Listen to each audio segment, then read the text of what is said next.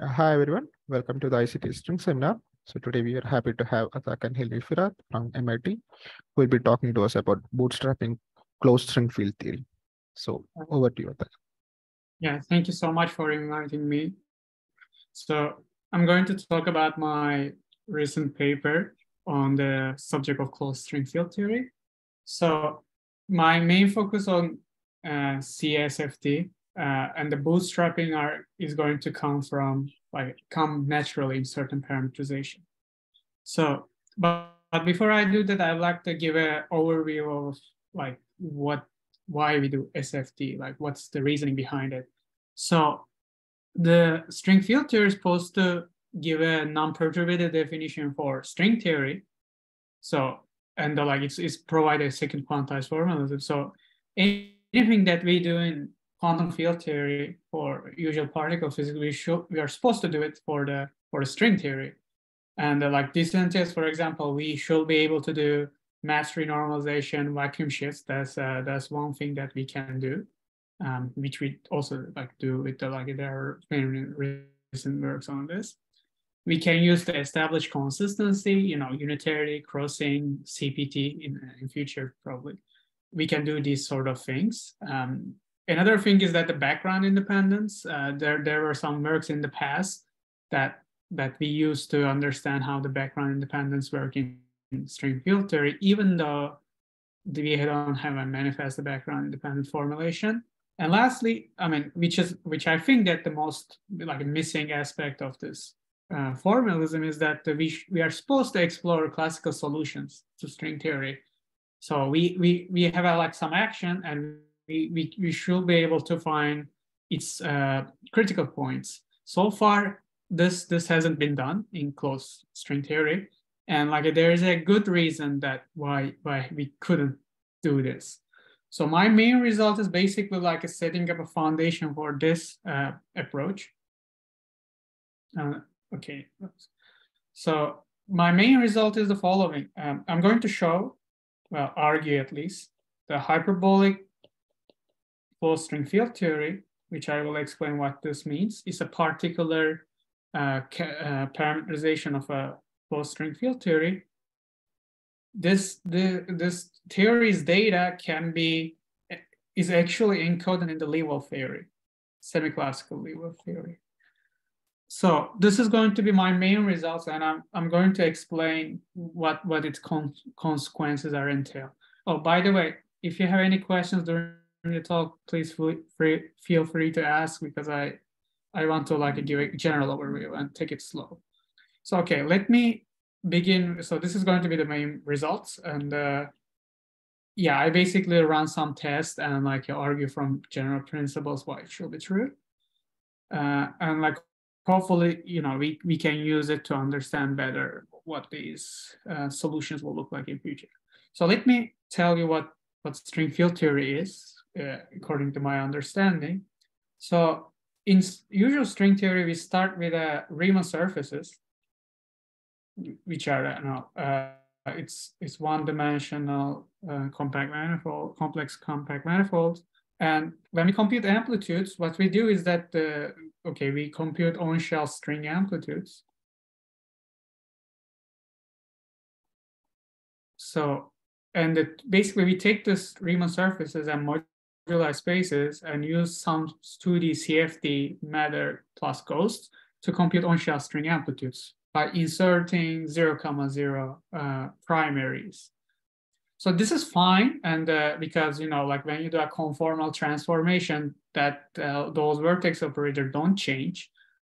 But uh, like for a field theory, we should have off-shell string amplitudes, and we should have it in a way that when we consider on-shell states, that is 0, comma 0 primaries, we should uh, reduce the on shell and also it's supposed to like satisfy certain properties. So what we do here is that we consider Riemann surfaces again, but we endow it plus some extra structure. I'm going to talk about what this extra structure means in a moment. So basically we are kind of extending the notion we have, geometric notion we have. And again, we use a 2D CFT to compute this and we get the off-shell string amplitudes. And from this, we construct the field theory. So this is the basic picture, like how we proceed. Basically, we are reverse engineering our theory by like uh, first creating off-shell amplitudes and then basically using to construct the action that will give those amplitudes. So this extra structure is so-called local coordinates around the punctures. So basically, and it kind of makes sense, right? Because as I was saying, there's zero comma zero vertex operators, and when you do a conformal transformation, it doesn't matter which patch that you choose around the puncture to um, describe it. But for off-shell states, this is going to be important. So these are basically, you know, you take the unit disk, for example, this one, and you have a Riemann surface, and there are like this data about the map that how you how you map this uh, unit disk to the surface itself. So you put your vertex operator here, and this F1 basically tells you how you should insert it on the surface. Of course, there are certain uh, uh, certain uh, conditions on this. For example, like you want to describe Feynman diagrams, uh, right? So what you want to do is that the some surfaces you you are supposed to describe by like having a flat cylinder in the middle. So these are Feynman diagrams. So some surfaces, like ideally you want all surfaces to describe by some cubic vertex with Feynman, uh, some uh, flat propagators, but it turns out that that's impossible for closed string theory. That you have, like what you have to do is that the, you start with a cube, some sort of a cubic vertex, you construct these uh, Feynman diagrams by this geometric identification, then there are like uh, surfaces remain. Like for example, you construct a, like a four point interaction with some cubic vertex, then you'll see that there are like a part of the moduli space that is not covered by this construction. So those are going to be the so-called string vertices. Those are the elementary inter string interactions, which I'm going to denote by curly V. So it's going to be you know, some formal sum that is, you know, I'm going to sum over the punctures. I'm going to, uh, I'm sorry, genus and punctures, also negative Euler number. So Gn, H bar G, kappa. So, so this, the, these are like essentially some, uh, you know, the set of Riemann surfaces plus the coordinates that describing it. H bar and kappa is the sum formal constant. So these are basically Riemann set of Riemann sums uh, surfaces plus the local coordinates. And important property is that the they are kind they are far from degeneration so they don't include you know uh, the one that the punctures are getting close to each other or like a genus getting noded something like this so basically this is the main idea uh, basically we are trying to like uh, use Feynman diagrams as much as possible, but like we cannot do it. So we, we have to use it like a remaining surfaces as, as, our, as our vertices. So here's a pictorial understanding of what I told you. So this is the moduli space of the, the, the Riemann surfaces. And the, the, the other one, this one is the local coordinates, well, up to a phase, but you know, it's, it's some sort of a bundle over the uh, usual moduli space. And this choices of uh, V is that the like some uh, section or chain on this space. And uh, like these are going to be the Feynman diagrams. Uh, and these are going to be the elementary vertices. So far, so good. Like any questions?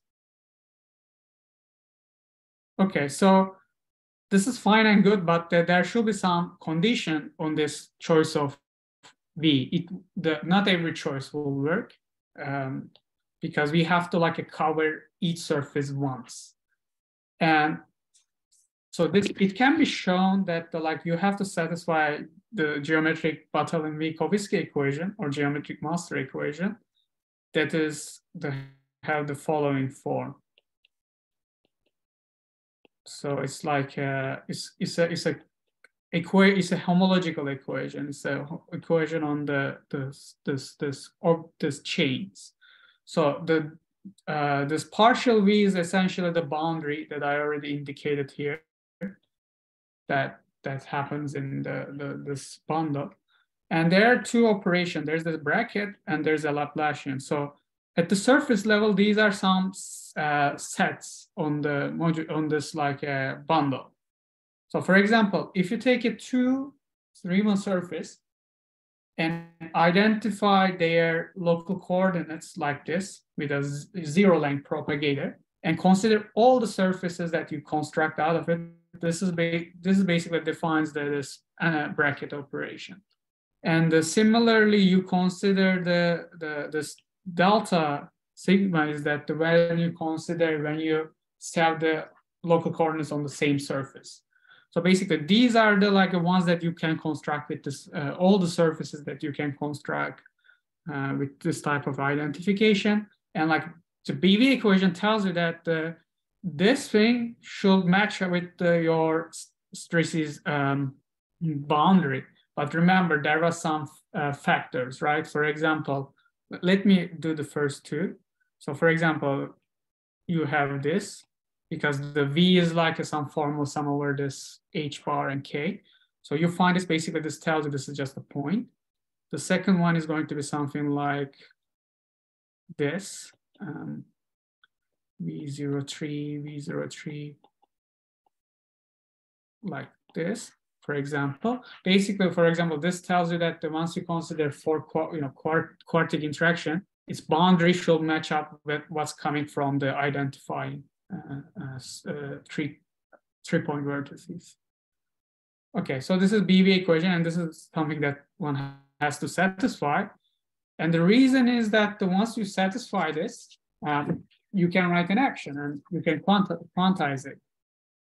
Uh, so what happening is that you can write the following action uh, where one over half psi cube psi plus 2g n k minus 2n or n factorial with some interactions g and these interactions are given by the, the ones that you integrate over the vertex region. So the sigma denotes the local coordinates. There's some ghost insertion. They are not that important here. Ghost, um, oops, ghost insertions. And the states themselves getting inserted. So then you can show that the, like once you take the uh, your background is some 2D CFT and take the state psi to be some element of that uh, Hilbert space of that CFT, you can show that this, this once you wrote this action, uh, which are the kinetic terms basically given by the BRST operator of that 2D CFT, and the interactions are given by the this uh, what, what you integrate over these string vertices, you can show this can be quantized in the BV sense. So this is a well-defined procedure. As I draw in the diagram, you get the Riemann surfaces with this local coordinates, use 2D CFT, and you write it like a well-defined action. Off-shell amplitudes and well-defined action.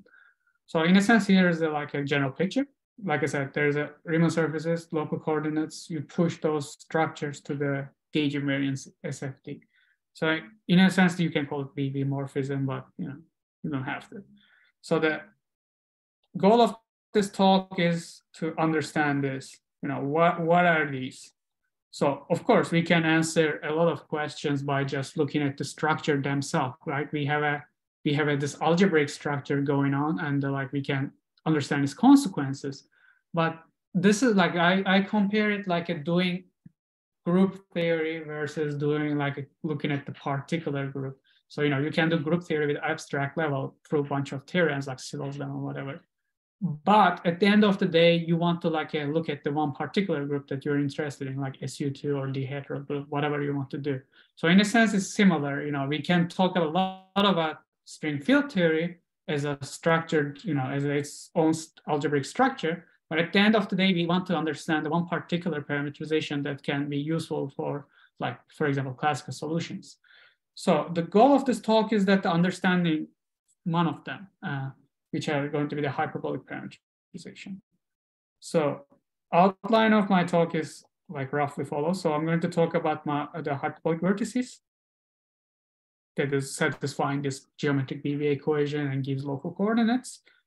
Then I'm going to talk about the local coordinates of this and how to construct it. So at this point, you already like, we already going to see that there is some relation with the Liouville theory. And I'm going to talk about some simplifying cases like WKB uh, approximation that is going to be further simplify this structure of hyperbolic vertices and it's going to be related to Strebel differentials that, that closed string field theory canonically used in the past.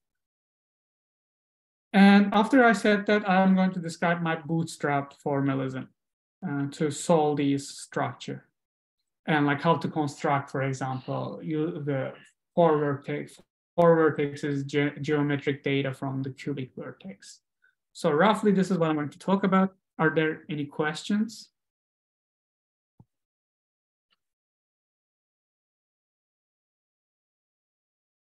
Okay, seems not. I think I am clear enough or not.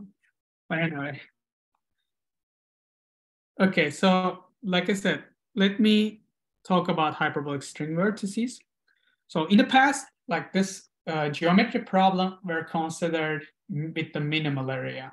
So if you know what it is, that's a like you can construct like you take the some surface, you consider like a non-zero systole, like which I'm going to explain, but you constrain this surfaces, but that have still is have many problems in terms of like existence, you know, how to make it explicit.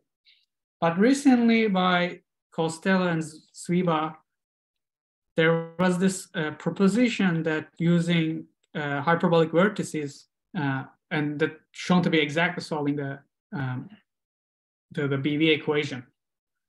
So um, also it goes back like and Pius tried to use a cusp vertices, but they didn't solve explicitly uh, exactly the BV equation. So th this construct this is the construction that I'm going to talk about. So here's here's this. So what you do is that you take a Riemann surface with borders, length L, same length, and geodesic borders. So by uniformization theorem, it is known that this this endo is a hyperbolic metric that is you know negative constant curvature, which I said to be minus one. And then you consider local coordinates by putting these cylinders. So for like what you do is that the following, there's a recipe. So you first define the following set.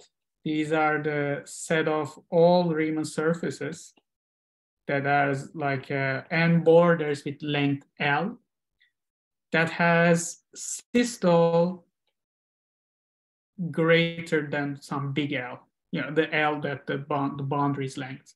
So systole here means that you con consider all shortest, uh, you consider a simple closed geodesic of the surface like this. And systole is the number that is shortest. So, you know, like if you consider a torus, one puncture torus say, and uh, like if the like a neck gets wider you see like at some point it's going to degenerate. So you're basically saying that the, it can't be smaller than the border itself. So that's what systole is.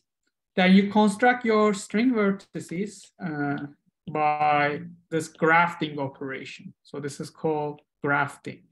You know if you know gardening you know the grafting is that the where you take a tree and put another branch. So that's that's the origin of the term so it is called grafting infinite with prime. It's a notation, but basically you take this set in this, this moduli space and instead write it over the, uh, the usual moduli space, like so. So this is quite natural because once you put this flat cylinder part, which is like a k equals zero, conformally this provides the, some local coordinates on the surface.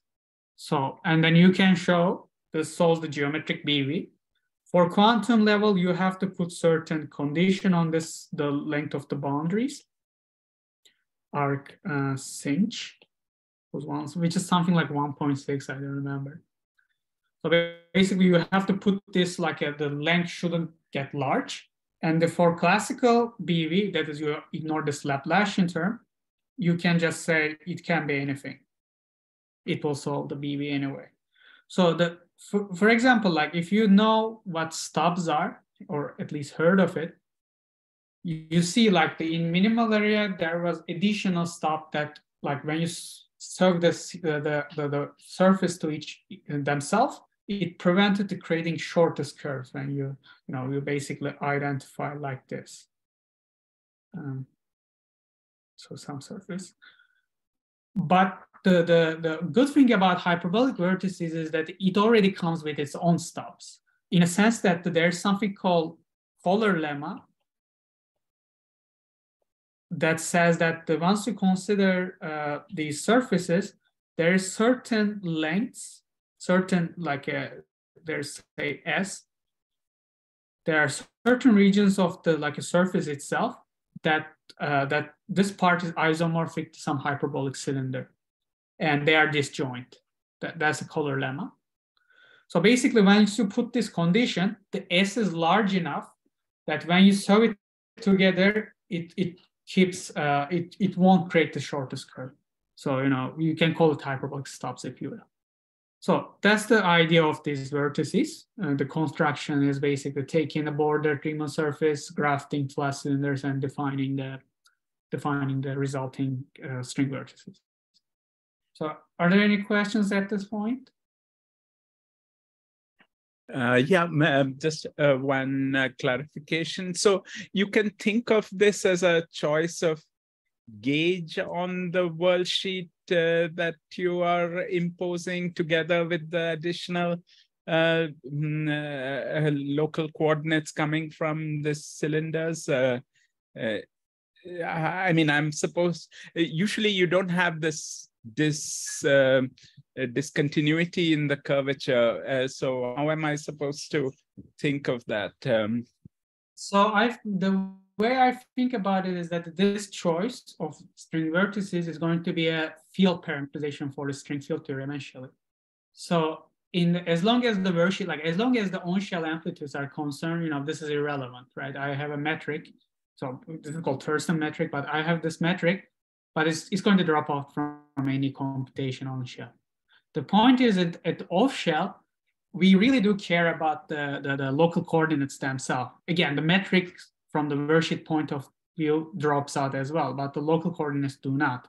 So this is like it's just a tool to generate that local coordinate data so that it will be a basically field parameterization of the, uh, the, the resulting string field theory. Uh, so is that clear? Even though like a metric is like a discontinuous, it is not really a problem because at the end of the day, it doesn't really matter. Uh, so um, yeah, uh, I mean, there won't be anything at the junction which you have to worry about. Uh, um... uh, yeah, I mean, uh, actually no, because the junction themselves, of, of course, second derivative jumps, right? It goes yeah. from zero kilometer to minus one. So you might worry, does it really affect it? But like as far, you know, like the way you should really thinking about it as follows. So basically this, this part is a conformal to some punctured disk, right? Yes. And what you're inserting is some vertex operator, say a psi. So basically what you do is that you are doing some path integral over this disk or like this cylinder. You're basically taking a cylinder. So yeah. basically what the drop of this does is that you define some state here, mm-hmm. uh, a certain part, particular way, then you let the, the, the, the rest of the hyperbolic part to interact, like define the interaction between those states. Mm-hmm. So, you know, in that problem, it's like a, providing the like a the, the boundary conditions to the interactions. Hmm. Yeah, off shell that matters, right? Because on shell, you know, whatever you put it, it's the same, but the on shell, the off shell is definitely important to consider. Okay, all right, thanks.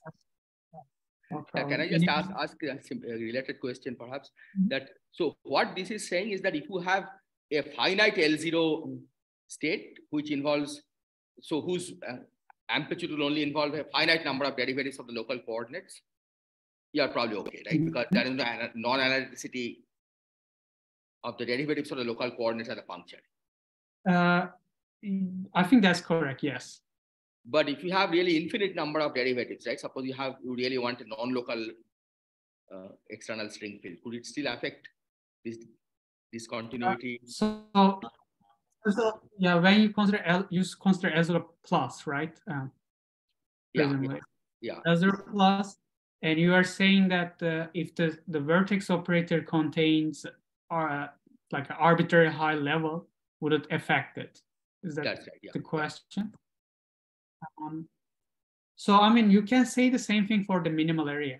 I mean, minimal yeah, area, there's this, yeah, there's this definitely, there's a jump in the minimal area as well. It doesn't go continuously. Yeah. So because, yeah, minimal area, what happens is that there's Barton's paper in uh, 2018, I guess, it's like uh, you had this flat part that is coming from minimal area, but then it becomes positively curvature. And as far as I remember, when that transition happened, it wasn't, uh, its first derivative is continuous, but its second derivative is not, again, like, like this.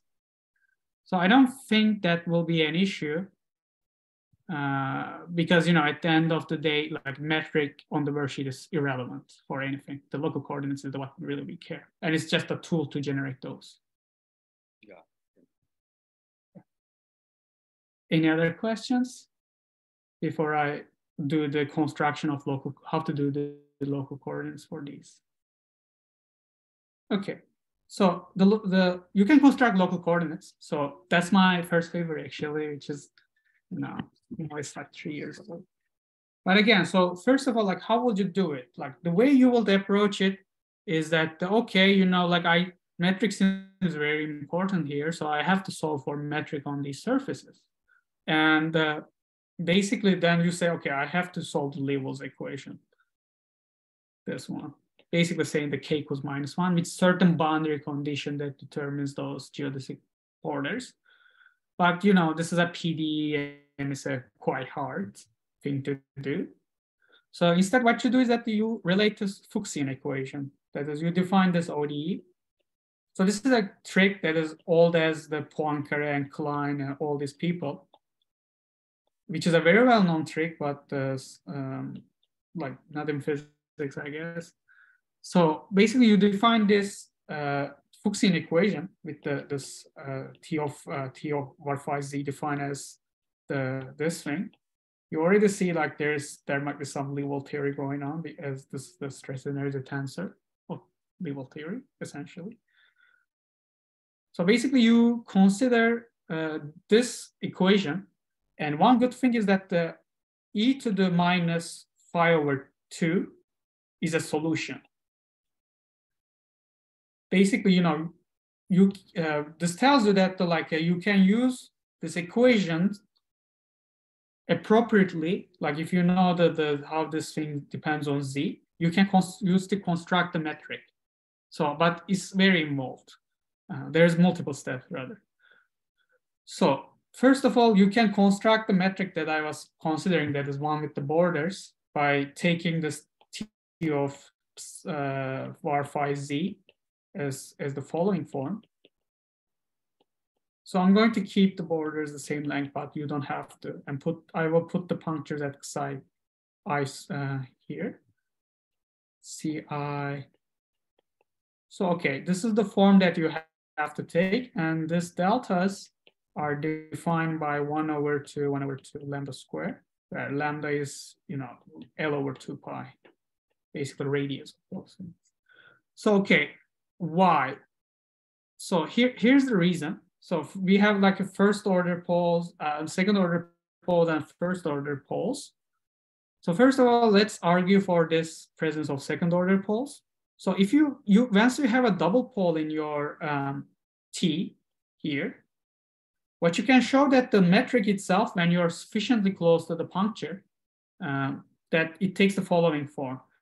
So you have some hyperbolic part that it connects to the surface, but as it gets close, you add like another hyperbolic cylinder, it, it diverges, then the very diverge, you add another hyperbolic cylinder and keeps going on and on.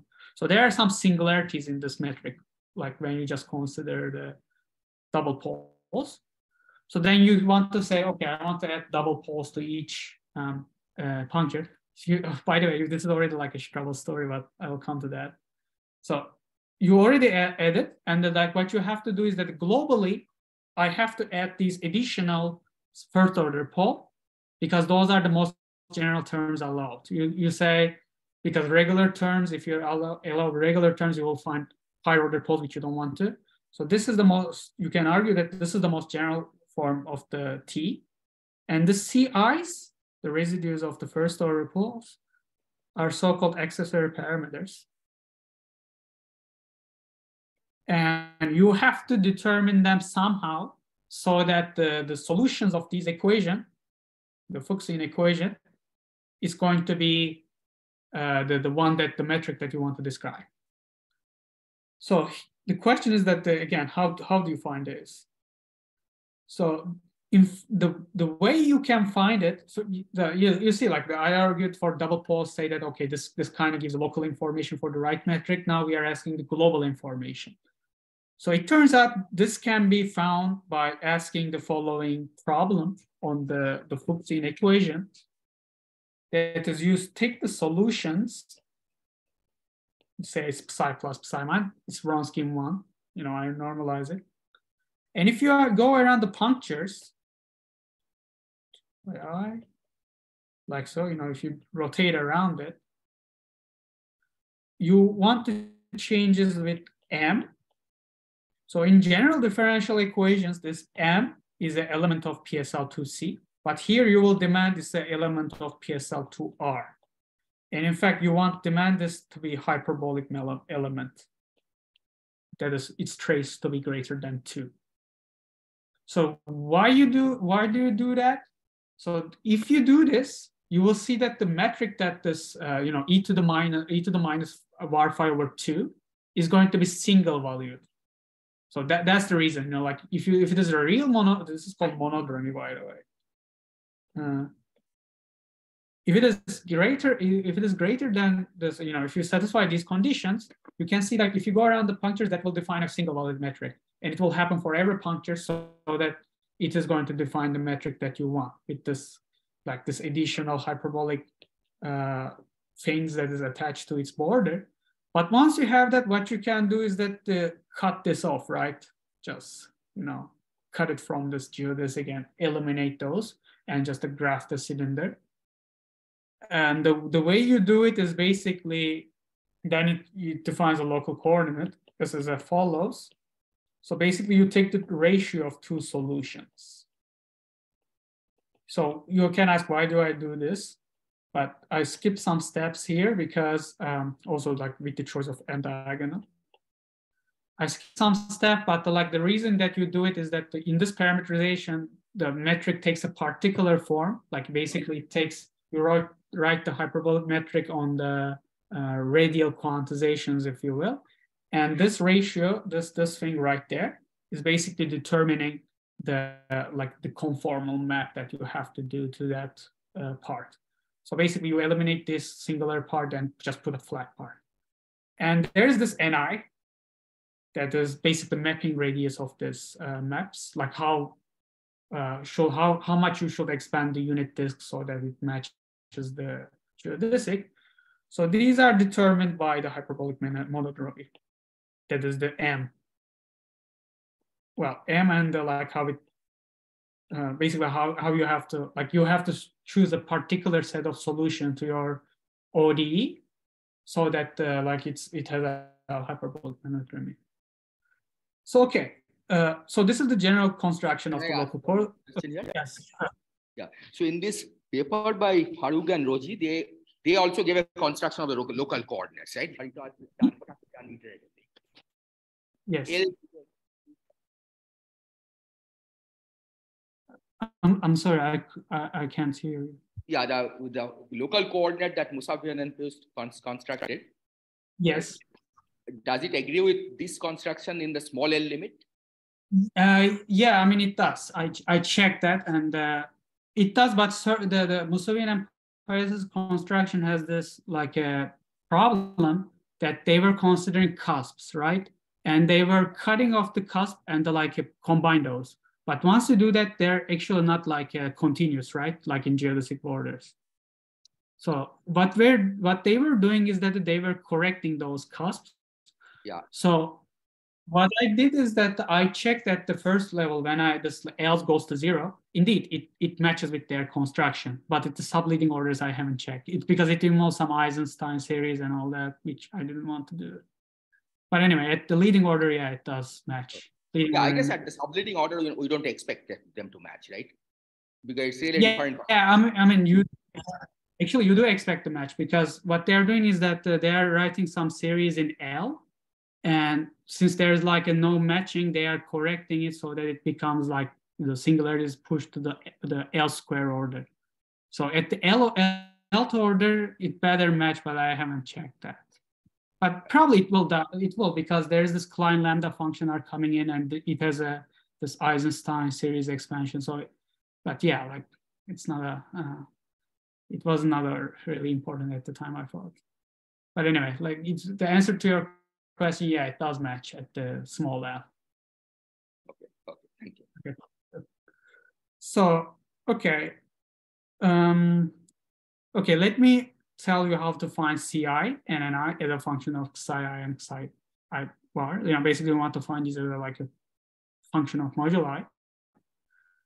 Uh, so the n equals three is that like you look at this equation, take n equals three, and you can well if you if you've studied OD or like seen it at time at time ago, you see that the hypergeometric equation, right? It's a three singular three regular singularities, and basically you can use this Uh, hypergeometric functions and it's how they relate at different bases to solve for local coordinates. Expression is not nice, but you can do it. So in n equals four, it's a different story because now you have a this actually in n equals three, there's this additional constraint. There's three constraints that CIs has to satisfy.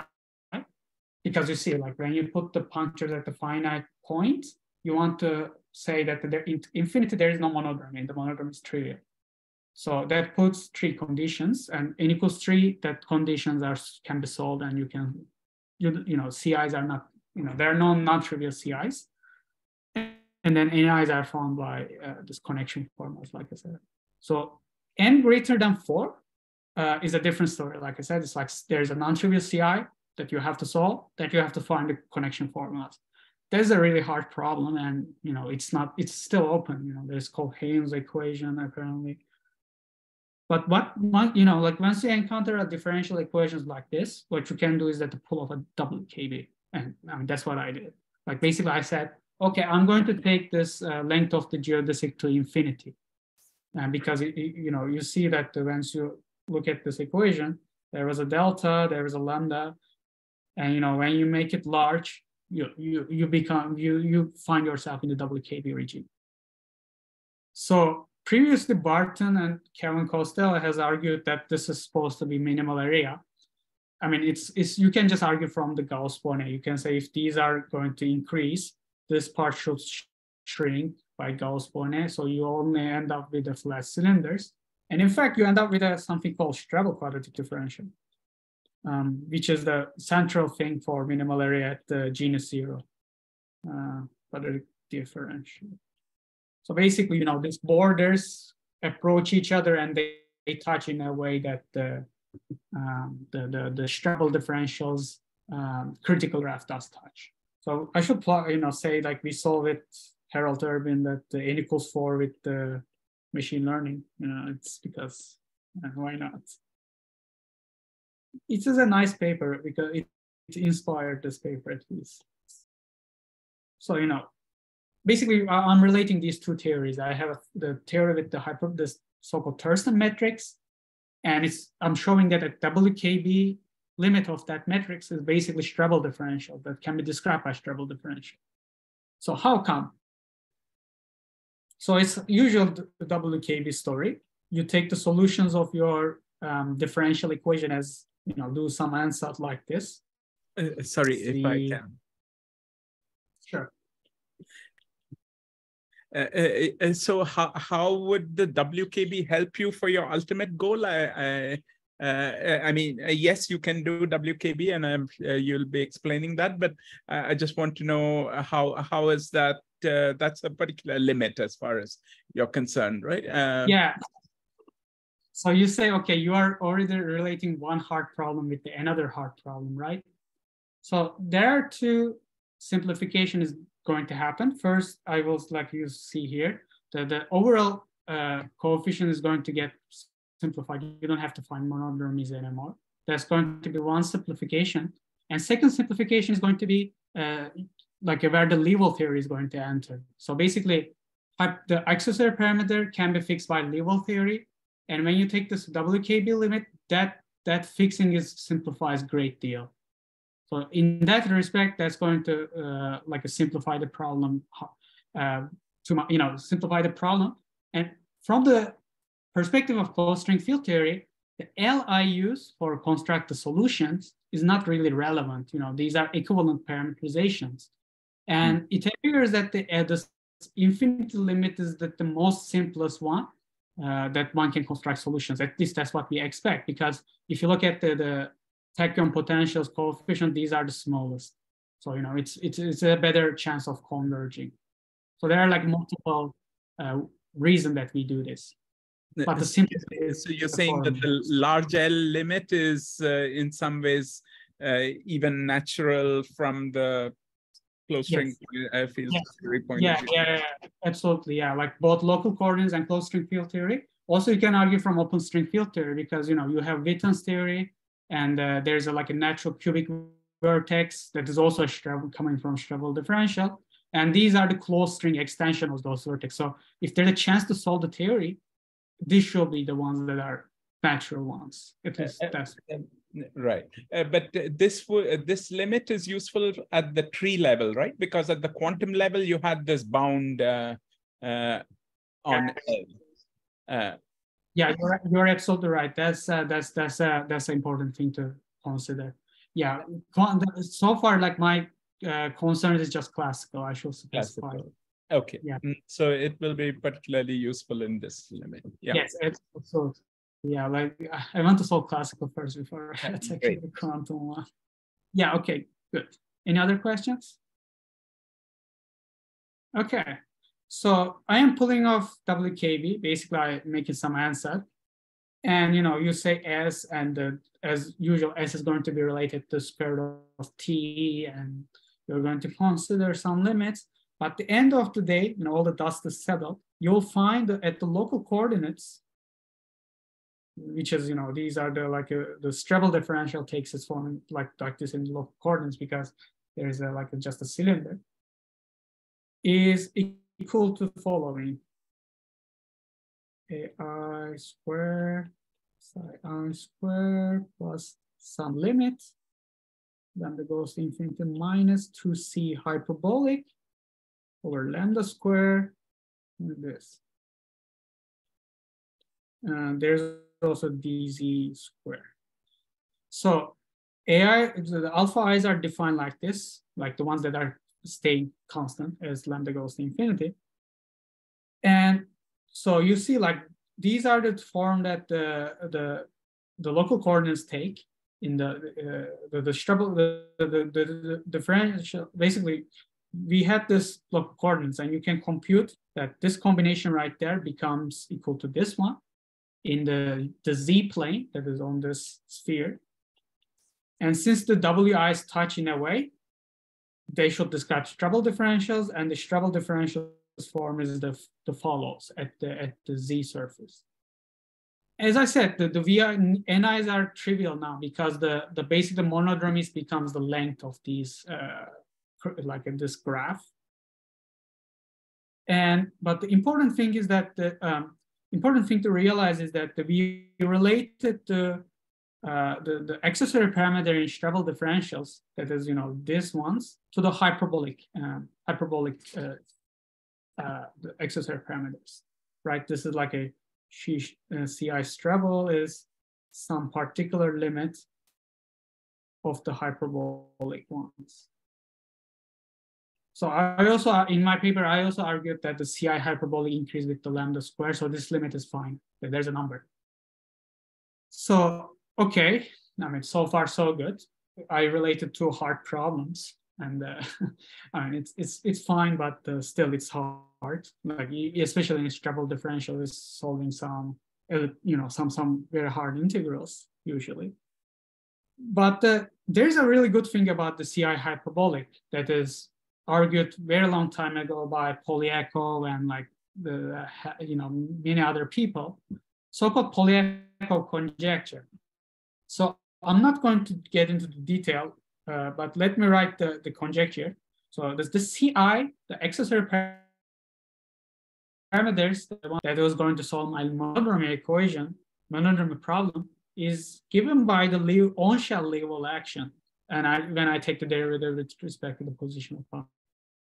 So SL is on-shell uh, regularized. Now you need to do some uh, boundary terms, Liouville action. So those who don't know what the Liouville action is, it's not really that important, but it's something like this plus, uh, and then regularization terms. So if you if you be careful about the regularization term, you can show this. And uh, I'm not going to go to the derivation how to do it. You can look at these uh, these people's papers that are really useful in this area. They're they're really good. Um, that uh, basically what you do is that you start with the Liouville theory, you consider uh, the conformal Ward identity in Liouville theory and take the semi-classical limit. Then that naturally reduces to the Fuchsian equation that I was talking about. And then you say, okay, Liouville theory should describe hyperbolic geometry at the uh, uh, semi-classical limit. And that's how you relate these and find this relation. So it's, it's a really nice story that you go quantum to solve some geometry problem and it has far-reaching consequences. So, but you know, like since I want to describe this easiest limit, which is the Strebel limit, uh, let me do the, uh, the take the limit of this conjecture as well. So I had this, like I said. So I mean, is it necessary to you, for you to go quantum? I mean, can't you do it purely in the classical Liouville theory? Uh, so so the argue the original argument is done in the like uh, this heuristic path integral conformal Ward identity way. So there, there, so there is then there there comes a proof by Takhtajan and some other people uh, that prove that the like indeed you know you can rigorously prove that conjecture is true uh, by you know defining Liouville action just say, classically without even referring to Liouville theory or conformal Ward identities but the, like the case I'm considering is that the one with borders that hasn't been proven, but it only argued from the quantum Liouville theory and taking the limit. I see. Okay. So you know, like it's amazing how people like because you know Klein and Poincare and all these people tried to to prove uniformization theorem by showing the showing these parameters exist, but they haven't realized that this this connection 100 years ago and realized like 40 years ago. So, okay. Um, so this is how it relates. Then I can take the, uh, you know, this limit of this, you know, basically related to the, the, the CI hyperbolic to this. And it will come to the taking the some additional limit of the on-shell Liouville action, not the semi on top of the semi-classical limit. You take the semi-classical and then take this uh, lambda goes to like very large limit uh, so you have heavy states, but now there's heavier states. And this is funny because then it reduces to something that is very familiar in the Strebel quadratic differentials uh, uh, literature that it reduces to this S0, what I call S0 n star. So the S0 n star is the, the following thing. So it depends on the, the moduli and the length of the borders is given by the following combination of Ri, Hi. So, you know, I will, I call this modulus, it's a total modulus, but I call it total modulus for short. So this quantity right there is quite natural in the Strebel differential um, uh, literature, but let me explain what these RIs are first. These are so-called mapping radii. So the, the RIs here is defined by the following. You just take the local coordinates, first derivative, and evaluate at the puncture itself. I'm sorry, WI. WI and evaluate it. Basically, it's like telling you this is how much you should scale your coordinates first. So, you know, the picture is this again, like basically tells you like what is the you know what is the like size of this region in a rough sense. So this so this is this is this is a certain particular combination.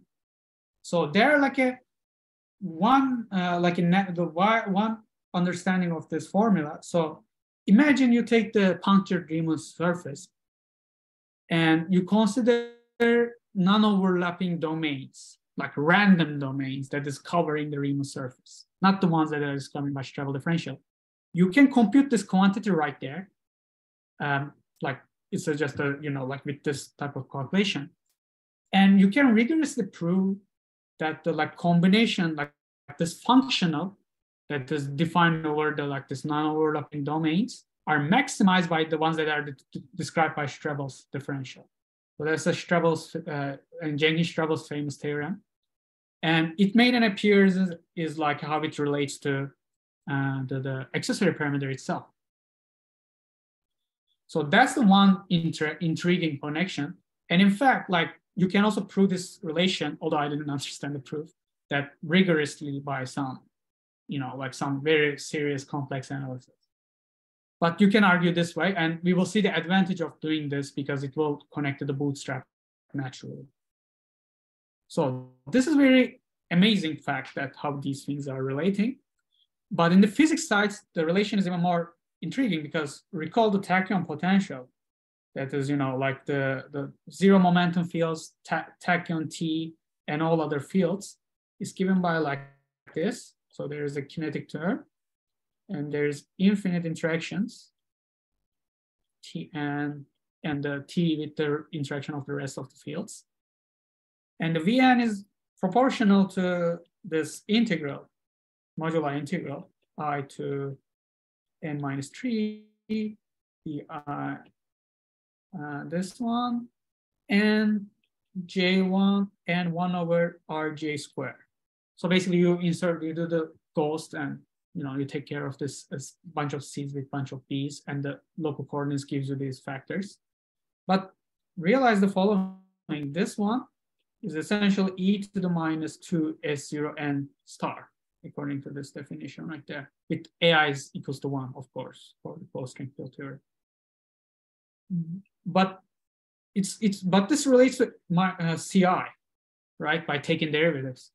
So that you naturally leads to the following fact that uh, if you consider bosonic closed string theory and you consider the integrand of the off-shell interaction of n0 momentum tachyons, that is this one, without, before you integrate, it generates the remaining coefficients of, of the, uh, the in, in closed string field theory. So once you know this, once you know how tachyons interact, like a given surface, then basically you are set to go. You can just, those are going to give a relation to the, the rest of the surfaces at each punctured level.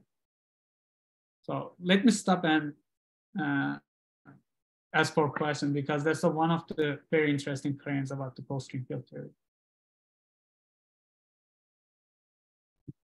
Okay, so like something like this happens in open theory as well. But there you just have this number four over three square root of three. And the rest of the numbers are basically determined by that. But here, like it's, there's a moduli dependence comes in, but the, that doesn't change the fact, you know, once you know these interactions, you know everything at each punctured level. Okay, so then the question becomes the following, you know. The, mm -hmm. So when you talk about tachyon potential, you're not integrating out the heavy heavy fields? Uh, no, I'm not. Yeah, because there's dots, right?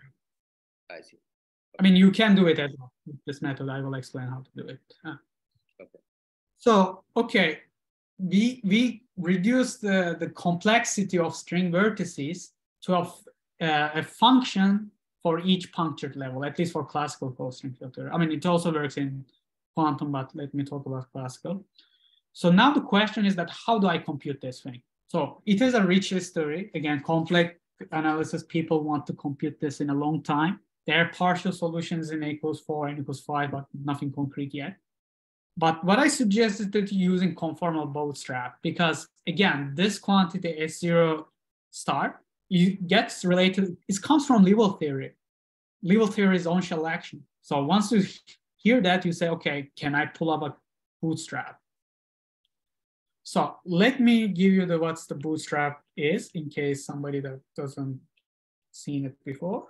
So you know you have basically four fields placed as zero, one, infinite, and psi, for example.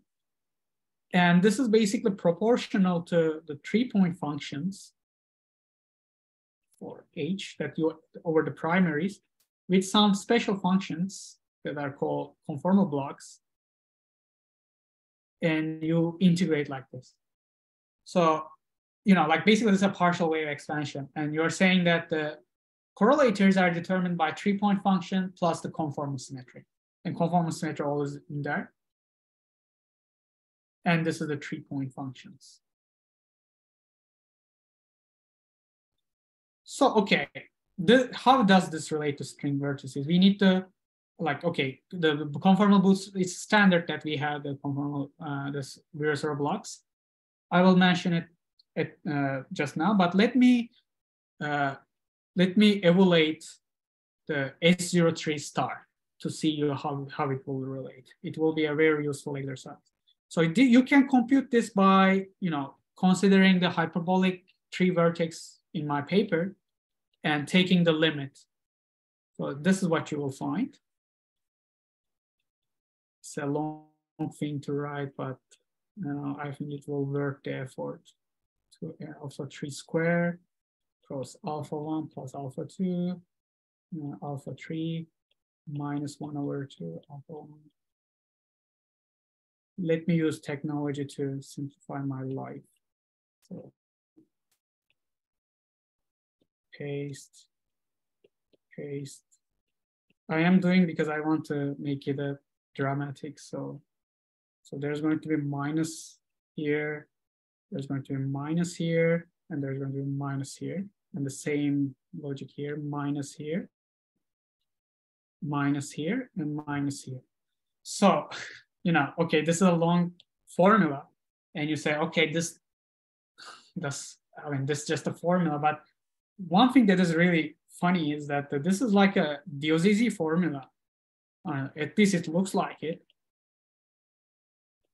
It's a three point function. You know, you remember you had this upsilons and a bunch of special functions, but the, the general uh, structure is something like this. You know, you have upsilon two beta one, two beta two, these are this one, and you divide by this combination, and there's some normalization that is not really important. I mean, in the hindsight, it's not really surprising because there's an on-shell Liouville action, and that should, you know, the, when you consider a DOZZ formula and uh, consider a semi-classical limit, it goes to the e to the minus Liouville action, and by taking a further limit, you reduce to this.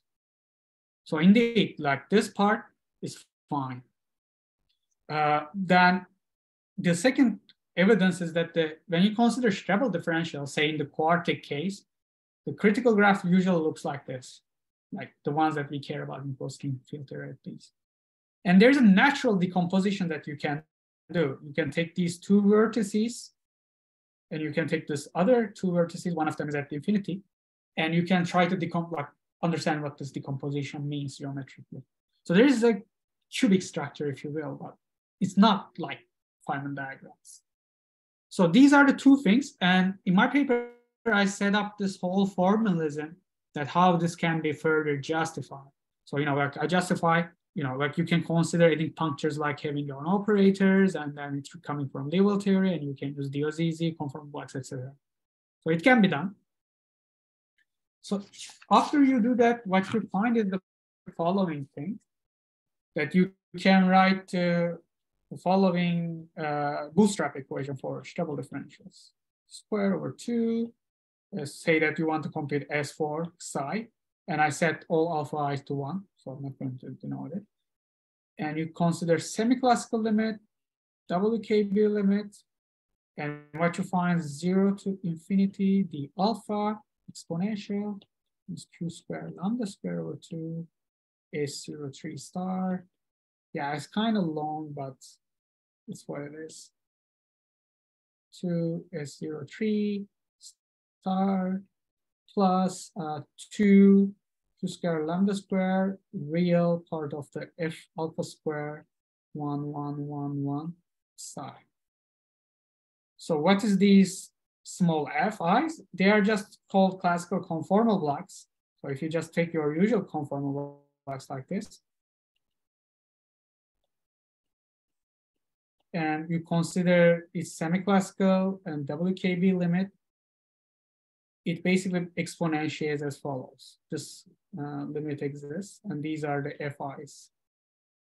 F2 square, 4 square, F1 square, psi. Okay, I'm run out of space, but I think you got the idea. So this, this has been proven, you know, this limit exists. Um, and basically you can use it to write this equation. And in fact, you are talking about saddle point. So this integral is going to be dominated by the, the, the, the saddle point itself. So we are talking about conformal, like semi-classical limit. So this integral is supposed to be like a, there is a well-defined value for alpha that has to run in this middle chain.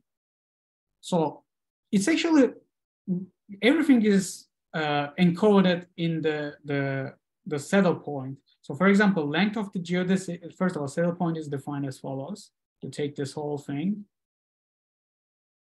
copy, and this thing, well, let me write like this, all together.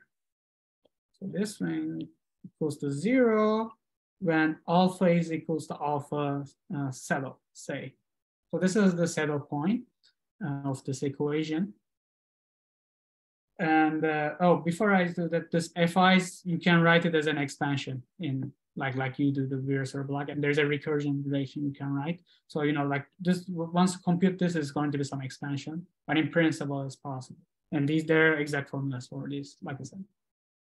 So there's going to be saddle point, and that saddle point is actually the, the 2 pi alpha s is going to give you the, the, the non-contractible geodesic of the Strebel geometry.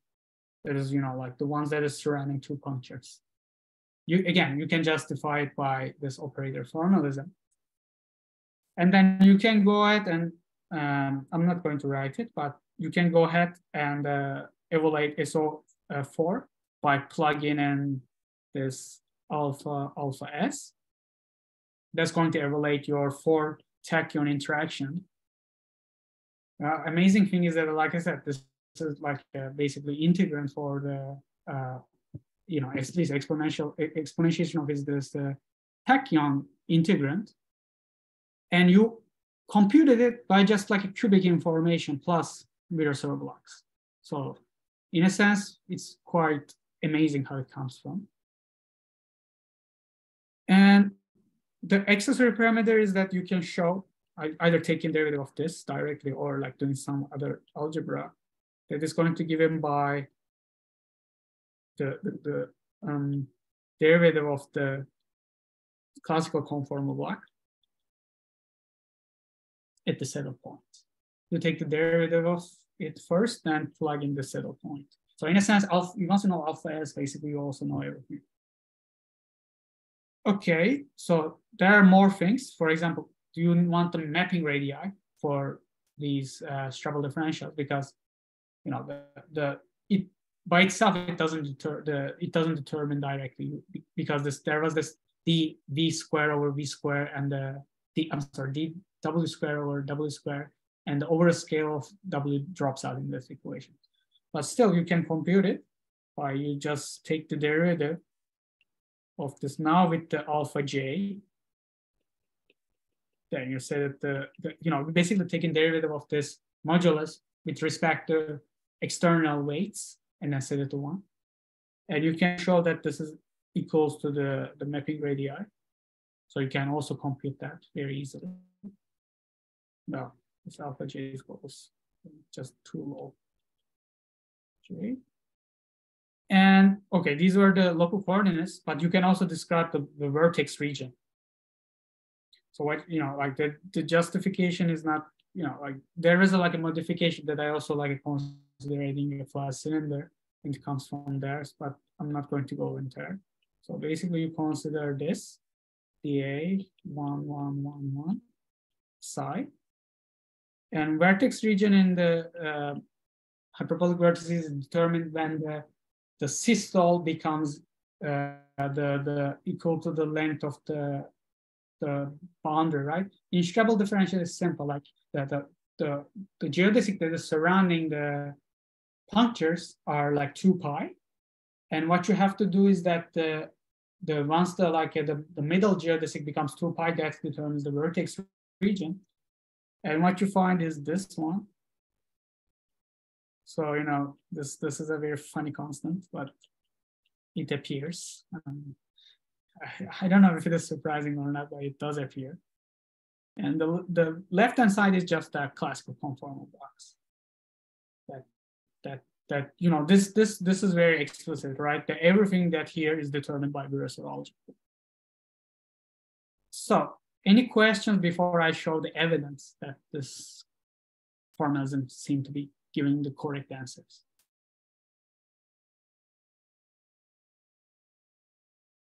Okay. So first of all, the results are consistent with the numerical solutions, either uh, this old paper by Nicolas Moeller or with our paper with Harold Erbin. So for example, the vertex region is amazing because so this, the dashed line is that the one that you get from this curve, like it, it has a expression. And the red one is that the ones you get from the numerical solution. So it's just matches on the on the nose. And further, I also did the like how the the, the Schwinger parameter of the Feynman region depends on the moduli. You can also solve for it. And here's the, the overall dependence. So it kind of makes sense. There are additional numerical checks, you know, you can go ahead and look at it, all these things. And the differences are like order 10 to the minus four, which is like uh, the order that we used in this paper Harold. And uh, the, the second check is that there's a crossing equation, right? When we talk about bootstrap, that's a chemical thing to do. And the crossing equation is basically once you decompose this channel or versus this channel, she'll give you the same answers. And it does give you the same answers because, you know, like it's, yeah, what else it's going to do? And we check, uh, I checked it numerically, so it's fine. So, okay, uh, basically these are all uh, I wanted to talk about. Uh, let me do some, um, like, uh, what's next about this? Uh, what, or like, what, what can we do about that? about about like a closed string field theory. So there are like obvious generalizations that that one has to consider. So for example, uh, can I ask a question? Sorry, before you uh, talk about. So, is there a geometric meaning to this crossing equation from the language of the Strebel differentials? Uh, is there? A, uh, I mean, what does it really mean uh, in? Um, uh, let, let me think for a second. Like the obvious answer is the following. So once you have a some once you set the moduli, there is a unique Strebel differential, right? Yeah. So uh, it tells you that the well at the base level, you should find a single answer. And basically, crossing equation is like it's telling you that the whatever answer you find, you find that answer. I mean that uh, I think that's the underlying geometrical reason. But beyond that, I am not. Uh, no, I, I meant, of course, the final answer will be, of course, crossing symmetric, but uh, this is some kind of decomposition uh, that you are making. Is there a meaning to that decomposition? Uh, uh like uh, the, these graphs, that, I mean, these pictures that you have drawn here, I just wanted to understand, is there, I mean, are they just pictures or is there a uh, is what, what is the sort of meaning of these pictures? Yeah. Uh, the me meaning is as follows. So remember the cross in crossing, I basically write the following thing, right? I have S4, S04, basically the four puncture Strebel's data. Mm -hmm. okay, and I basically write a bootstrap equation that I have an S03, two S03s, right? Yes. And they're the conformal blocks. So this decomposition tells you that this S0, S0 trees, like once you decompose the critical graph, is about like a red side and blue side. For example, this is a red side and blue side. Mm. And uh, then you need to like adjust it by having this conformal blocks so that it describes the, the four the four puncture Strebel differential. So mm. in that aspect, yeah, I mean, this this is kind of like a so because you see the this like a cubic thing that I draw is not a Strebel differential, right? Mm. That you cannot write it as a Strebel differential because there is like this bending going on, right? It it can't bend in the Strebel differential, so like like here, you know. So, uh, well, okay, you can ask what is the object that can describe this curve then? Well, I don't know that. So that's my answer. Mm. But hmm. even if I don't know that, like I can basically say, oh, say that there's a like a length alpha s for this, and uh, the other side, no, you know, like the, these are two pi, say, then I can just treat them as a like a Strebel differential, and these are going to get, give me the correction so that the like these gets like bended in a sense. Hmm. So I mean, so this, this, is my basic level explanation. I, I really don't understand geometrically what this means because you see like in like there were some works uh, like a few years ago that people use uh, conformal bootstrap to solve for uh, the Laplacian on hyperbolic surfaces as well. And it also works very amazing. Like you compute you take the Bolza surface like a Genus 2 surface with this special point. Yes. Yeah. And then they computed the smallest non-zero eigenvalue just using Virasoro algebra. And they get it very amazing precision. Yeah. So like somehow like this type of Virasoro cross hyperbolic things work. And as I said, Strebel differential is a particular limit of the this type of hyperbolic constructions. Mm-hmm. So yeah, that, there might be a deep story, and yeah, I, I will speculate just now about that actually. So okay, yeah. All right, thank you. Any other questions before I um, summarize? Okay, so what's next? Um, well, first of all, I, I do some work about like hyperbolic string vertices related to Strebel. I consider uh, like I made some write the like a relations for their geometry and it like this tachyon uh, integrand describing string vertices. And then I constructed those uh, tachyon interaction just using the cubic data at the quartic level.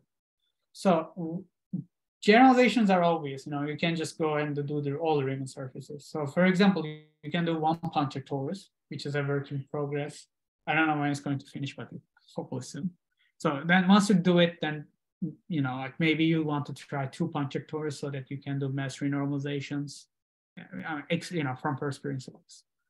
Um, so the, the thing about one puncture torus is that you know the blocks, right? So it, it should be like it's very similar. So other Riemann surfaces is a different story because, I mean, we don't know classical conformal blocks. And there are some works by Sheehan and company that they have recursion for uh, these blocks themselves, but it's not very amenable to this type of computations as far as I can see. And uh, usually when Bootstrap people talk about it, they care like cross, okay, once you satisfy crossing at the four puncture level, of course it's going to satisfy in other levels. So they don't really construct these explicitly. But the, for local coordinates, you if you want to solve it explicitly, you have to construct them explicitly. So probably that's not a right way to approach it, I will say. Uh, what I want to, what I will rather want to do is that the, like somehow that they are like the systematic procedure should lead out to certain like simplification without competing the local coordinates. That will be ideal. I don't know how, but that will be ideal. So there's either other, of course, the obvious generalization, the open close vertices, uh, hyperbolic open close vertices that can be done, what you have to do is consider Liouville theory on this upper half plane with probably FZZT boundary conditions. And then you can say, okay, I can do SUSY, maybe like supersymmetric Liouville theory somehow also does the same thing and relate to PCOs. I, I mean, I haven't considered this, but like, let me put it as a question because it might be interesting to do. Uh, chaining operators. Um, so the second thing is that that is kind of bothering me is that uh, again, my goal is like uh, hopefully construct these solutions eventually. And at some point you have to deal with this modular integration. So, so far what I said doesn't do anything about that. Like, I don't know how to do this beyond numerical, of course, uh, how to do this modular integration. So like there are a few ideas that I consider, like for example, you can say maybe topological recursion of this Eynard-Orantin or like triple S type of things. Recursion. Well, that will be hard because tachyon potential doesn't depend on the length only, it depends on twist as well. So it doesn't, uh, it's not going to work exactly. The other thing is that the, the auxiliary fields, okay, I don't know how to write auxiliary, auxiliary fields, auxiliary string fields. That is basically going to make this decomposition manifest somehow. Hmm, that might be an option. Um, so there are maybe other possibilities. And the last point that I want to uh, Uh, understand is that this unreasonable effectiveness of Liouville theory and closed-string field theory. So I don't understand why this happens. I mean, you can, so there might be like multiple reasons that, uh, actually, let me show you a picture. You can just say, well, uh, this is just a hyperbolic geometry. Of course, the Liouville theory is going to make an appearance. That, that's a surface level answer. But then you can say, okay, maybe Liouville theory is like a central to conformal uh, the, the closed string field theory because you know Liouville theory is in certain sense the background independent thing. So maybe it's not that surprising that it appears in the parameterization as well. Maybe you can make it dynamical so that you don't need vertices or something, you know, something like that might happen. Yeah, it will be ideal it happens, but I don't know uh, yet if can if you can do that. But yeah, like this is all I'm going to say. So thank you very much for listening, and yeah, I can take more questions if there's any.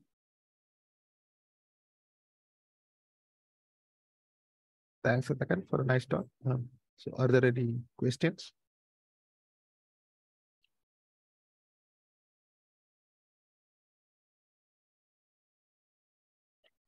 So this uh, integral over moduli space, um, uh, uh is so, um, yeah, I mean, you had, a, at least for the tachyon case, you had somewhat natural uh, interpretation for, uh, I mean, the integrand was a fairly natural uh, geometrical object. And um, uh, is there a chance you think uh, that it could be related to some natural characteristic classes on moduli space? Uh, uh yes. yes, that's that's essentially the the uh, what I'm thinking right now. I mean, there are two aspects of this problem. The first aspect is that the following. So we are not integrating over the all moduli space. Yes. So that's that's different between the usual string theory and string field theory. We have certain restriction to the vertex region. So first of all, once that enters, that characters, classes, and topological recursion becomes really hard. Like there's no natural, like you cannot put into the universal cover, for example. That's that basically the, the, the procedure is ill-defined. So that's one problem that I was mentioning mostly. The second problem is that, uh, of course, integrand in the, the tachyon, tachyon is for very natural, but the higher mass level is also quite natural. It's all about the local coordinates and how it relates. So it's also like a max, there are quantities that probably that maximizes, but certain, not just mapping radius, but also how it connects gets maximized like with like a certain length condition, for example. So, well, in those cases, even though like it can get related to the characteristic classes, the first problem persists. Like I, I only want to integrate far from degeneration. So that that that is like that is a very unconventional problem from the perspective of Riemann surfaces. Yeah, uh, no, it's true that you've sort of chopped up the moduli space in some way, and uh, but maybe, I mean, uh, the you know from this BV master equation that the whole thing should fit together. Okay, there's uh, the Feynman region, and uh, Uh, yeah, yeah. So maybe I, I see what you mean. Up, or put it all together in some way. Uh, uh, yeah, yeah, that that might be certainly a possibility. You know, like when, for example, like when I when Ashok asked like this effective tachyon potential, for yeah, that that will be, the, for example, like is going to get integrated over all moduli space in in a certain way because you're going to chop up, then you consider a Feynman vertex contribution plus Feynman and also you're going to subtract off the appropriate tachyon uh, exchange so that you compute the effective uh, tachyon potential, basically integrating out all massive level. Yeah, indeed, that's going to be uh, integral over the whole moduli space. But again, there's this like a discontinuity that is separating vertex from Feynman regions. That is, uh, yeah, that is also unnatural in my, like in my understanding because there's a discontinuity, right? Like this, it pick, like there's it's continuous, uh, but its first derivative gets uh, uh, like it basically it gets a kink over the the boundary of the vertex region. So, but anyway, like it might be possible to relate that to certain characteristic class over the uh, the moduli space. For example, the, the one thing that I really want to understand is that that number that you comp compute for the effective tachyon potential only depends on like a topology, right? That's a, that's a dependent on puncture genus and nothing else in effective tachyon potential. So then there should be a certain matrix model that generates that number as like a, you know, as a generating function. So for example, that type, like if, if one approach that problem like that, maybe that, that might be more uh, fruitful because there is one matrix model that will do that, but we don't know which one or what is. Uh, uh so uh, the last thing that you said you had in mind just over the vertex regions? Uh, no, it's over the whole module. The whole so, okay. Basically, the idea is that uh, you want to compute the effective tachyon interaction, say T like this. So there's a, of course, the usual tachyons interacting like as a quartic vertex. Then you consider like a Feynman diagrams like this, the all massive states, but then you subtract off the tachyon in the middle. So effective best integrate out the massive fields, right? So for this quantity right there, that what you com compute uh, in the tachyon potential, effective tachyon potential was t squared plus t cubed. So there's going to be some number t to the four. So this number only depends on uh, topology, like a number of punctures. So if you if your goal is to compute that quantity, maybe doing this type of like a integrating over whole moduli and like matrix model, that sort of thing might be more amenable to co computations rather than the pure tachyon potential. So yes, that's that's what I tried to say. There's three. Any other questions? There Are there any more questions? yeah, if not, uh, let's thank Ken for the nice talk again. So yeah, see you soon. See you soon sometime. Yep. Uh, thank you for the clear talk. Yeah, yeah, I appreciate it. I, I, you know, like let me know if you have any more comments because you know there are lots of things that are not clear in this story, and I want to make it clear. Thank you. Thank you. Thank you. Thank you. Okay.